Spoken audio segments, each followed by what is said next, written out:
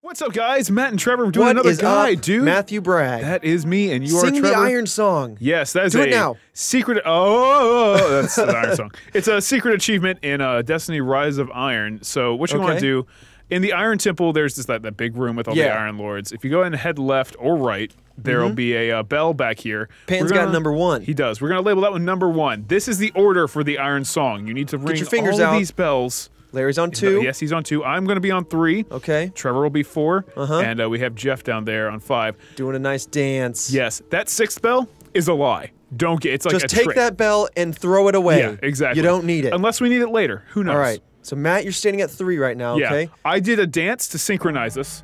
Good. And then we hit one, two, three, one again, then uh, well, five. The bells are delayed as shit. Yeah, it is. Right, yeah. Like so, we were hitting it exactly when we heard the bong, Mhm. and uh, and it still took a while. So we cut this down slightly. But yeah, just a little bit. results For the most part, may not vary. I don't- it's I don't there. know. But we got right there, and then all the bells just started ringing and shit. They started kicking off. And like we didn't it. even get to finish. But that's the thing. It's like that specific number sequence is the theme for the Rise of Iron, you know, DLC, and that's what you need to blue play on the bells. blue bells.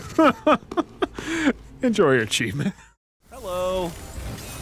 Hello. God damn it! I'm sorry. the one thing I had to go. Oh, we did. Okay, we beat the mission. Good, good, good. All right. Well,